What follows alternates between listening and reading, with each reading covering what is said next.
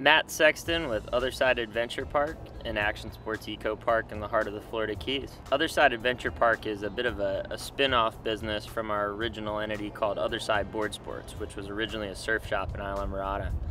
Um, the reason we chose to sort of pursue this endeavor was just kind of a lot of sort of uh, natural things that led to this progression. It's a, a complement to our existing business that really allows us to focus on a much more intensive and high-end level of instruction to the board sports that we offer.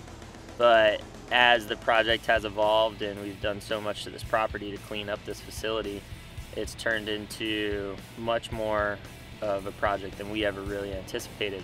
It's kind of like this, uh, you know, cultural, uh, socio-economical, all-encompassing entity that has allowed us to really branch out um, what we do from originally just a, a, pretty finite board sports and action sports market to something that's a, a, lot farther reaching and beneficial for not just our community but the visitors that come here alike. So organic growth, small business to the truest degree of you know investing an absurd amount of sweat equity to try and achieve our goals.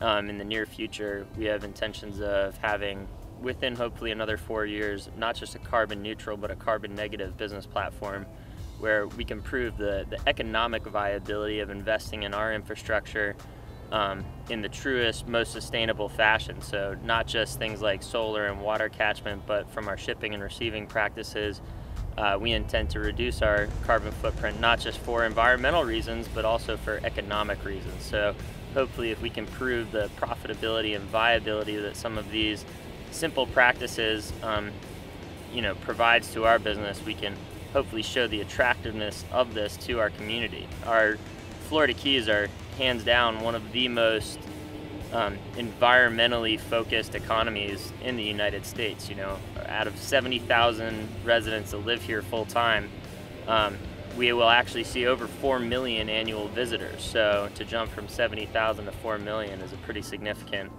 um, influx of people. So if we can tap into each one of these people and show them why it's so important to preserve this environment, because that's why we're here, hopefully we can continue to benefit the local economy as well as the people that live here.